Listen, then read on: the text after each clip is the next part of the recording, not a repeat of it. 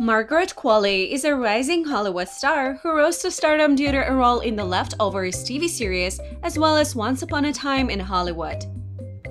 Apart from acting career, the movie star also deals with modeling, collaborating with such famous international brands as Valentino, Chanel, Ralph Lauren, and many others.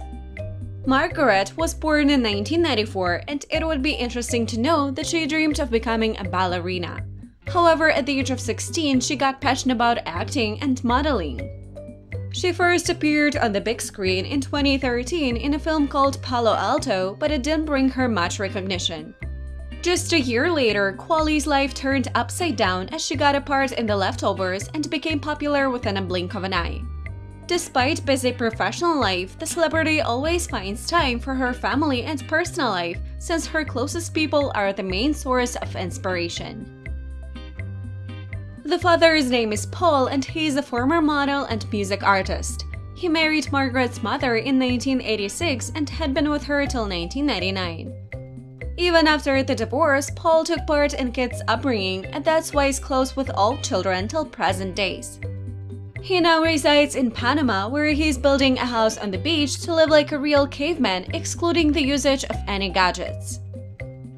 The mother, Andie, is also a model and an actress. After the divorce with Paul, she remarried a man named Rhett Hartzog and had been with him from 2001 till 2004.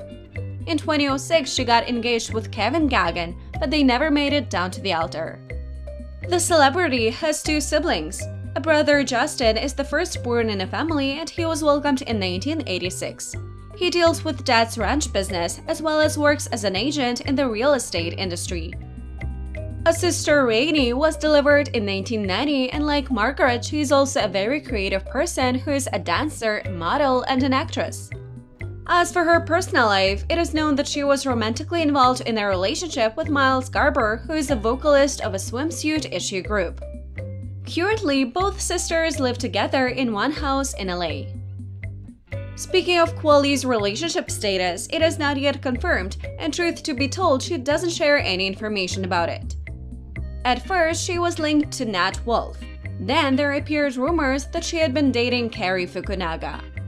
Finally, the actress doesn't have any children as yet. That is all. Don't forget to subscribe to our channel.